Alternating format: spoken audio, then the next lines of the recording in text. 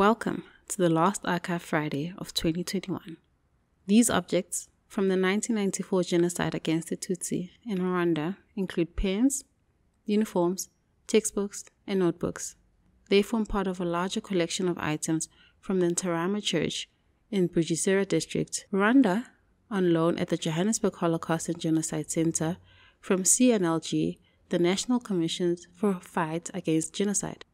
Churches and schools were historically considered places of safety in Rwanda, and traditionally people gathered there assuming they would return home when the fight was over.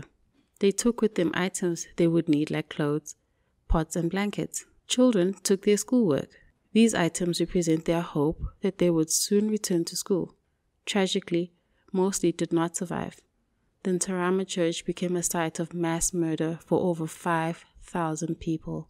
An estimate 1 million mainly Tutsi, were killed during the Hundred Days of Genocide. More than a 100,000 children survived without their parents.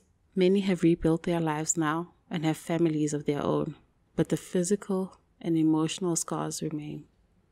Objects like these are a stark reminder of many innocent lives that are lost during the genocide and mass atrocities, and consequently, the potential and opportunity that is lost with them. The Johannesburg Holocaust and Genocide Center keeps these on permanent display to remember Kairenga, Mukeshima, Rubaiyat, and other innocent victims of genocide.